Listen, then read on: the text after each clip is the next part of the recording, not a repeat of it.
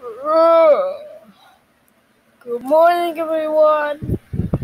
I was in the middle of watching SpongeBob. So, anyways, I gotta go.